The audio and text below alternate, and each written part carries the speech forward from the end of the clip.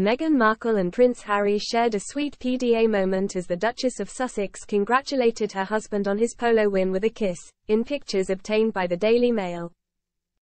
She presented Harry with a trophy after his victory at the Royal Salute Polo Challenge in Miami before they indulged in a kiss, much to the delight of the watching photographers. The whole scene was captured on camera as part of the couple's latest series with Netflix, which will take viewers behind the scenes of the competitive polo world. Meghan looked gorgeous in a white pleated dress with a cutout at the waist as Harry and his teammates applauded their opponents before accepting their prize. One of the players in the team against Harry during the tournament in Palm Beach was his close friend, Nacho Figueras, while Meghan was accompanied by pal Serena Williams.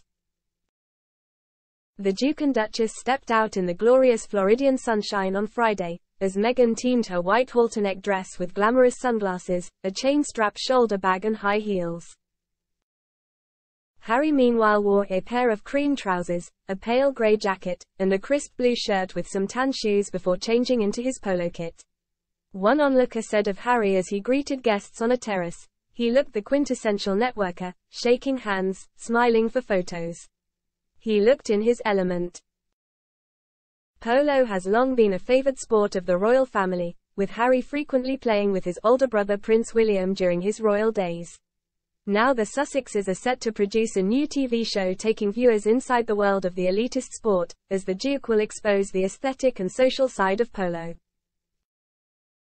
According to a statement released by Archewell on Thursday night, the show will provide viewers with unprecedented access to the world of professional polo.